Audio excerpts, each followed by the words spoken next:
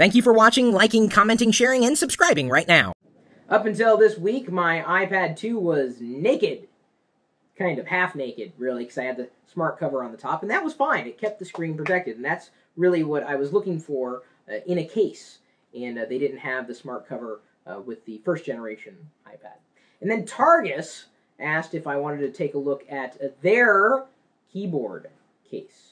And I thought, well, why not? They're sending one to review. Every other keyboard and keyboard case that I had tried had fallen short, if only because of the responsiveness of the keys. Sometimes they would be too mushy, and I'm like, I'm not going to use that. I would never use that. So I thought, eh, I'll give it a shot. And so now uh, I have uh, a keyboard case. Charges by way of uh, mini USB, which is nice because I have plenty of those cables lying around. It's got a strap here on the, the top or the front or the back. I don't, Which way you'd say. Oh yeah, you can see the uh, the Apple logo right there. Uh, that keeps the case closed if I'm uh, moving around with it. So uh, I, I, like it. I, I, genuinely do like it. Oh, there's my Google Plus open there. I can go ahead and I can lock the screen by tapping that key. And I know you're saying, well, Chris, at the point where you're using a keyboard or wanting to use a keyboard, why don't you just get a, a netbook or a notebook? Well, first, netbooks are underpowered. And, and, and, and second, uh, notebooks are a bit too big for what I'm looking for. And, third, this has got a touchscreen. So uh, I was happy with that. Uh, I'm, I'm, I'm happy with the case too. The the responsiveness of the keyboard uh, it happens to be to me reminiscent of Apple's keyboard. Um, I would say a good feel. Um, I didn't feel my uh, hands, uh, you know, were I guess cramped.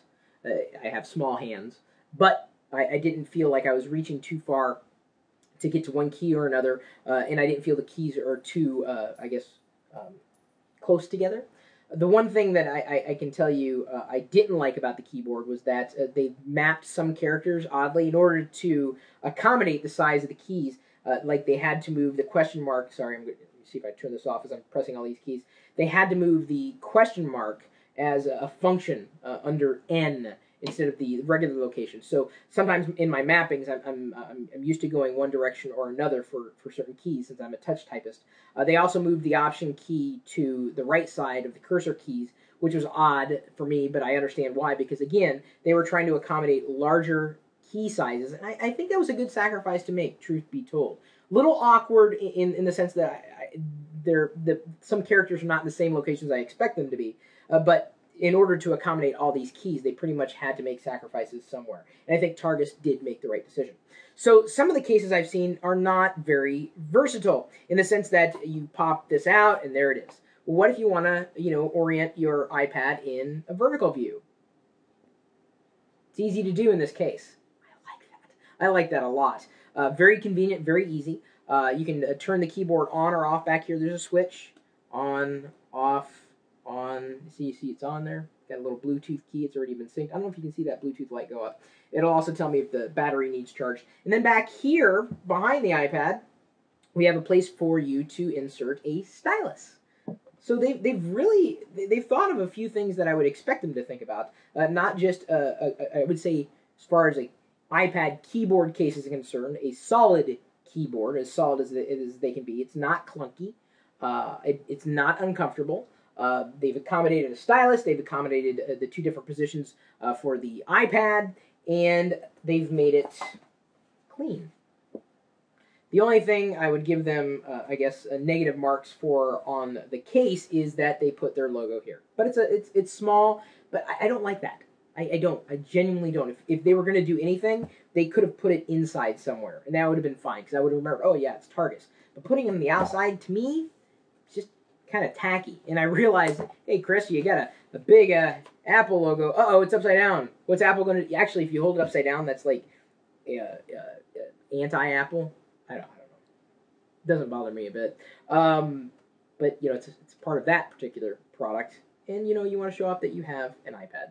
It's a nice way of accommodating uh, the pivot point uh, for rotating uh, the iPad too. They've accommodated the speaker, the uh, sync port, uh, the uh, charging port, uh, your microphone, your your rocker switches, and there's oh the camera, of course, can also be found there. Oh, actually, there. Sorry about that if I was covering up any aspect of it. Uh, not bad. Uh, should run under fifty dollars, and if you're looking for a keyboard or a keyboard case for your iPad 2, I think this one might fit the bill. Uh, I have not purchased any others because everyone that I tried I was not happy with. This is the only one that I've received to review, and I, I, until I find something better, I, am going to stick with this one. Uh, if you want, uh, I can try to get you a discount. Go.tagjag.com slash Targus iPad, and then I will you know send you off to where I can find the lowest price for you. Um, if you know of a better case that can accommodate a keyboard, a stylus, a pivoting point, is very comfortable, is very clean, uh, let me know. My email address, chris at pirillo.com. Thanks again to Targus for sending this along, really.